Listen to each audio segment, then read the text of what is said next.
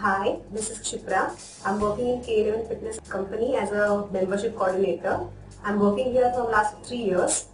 Earlier we used to work on Excel sheets. Now I'm using FitnessForce software from last two years and I've seen a drastic change after using this software. It is very systematic software because it gives you all the reports very nicely. All the features are very nice but the favorite feature which I like the most is follow-up report because where I come to know which calls I have to make on a priority basis. So my time is very much productive. Second report which I like is bills and receipt.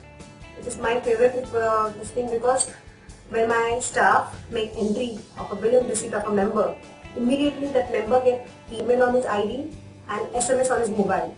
So it is a systematic record of inquiry, members, bills and receipt, all the things. Thank you Devki ma'am and Hadi sir for making this fabulous software. Thank you very much.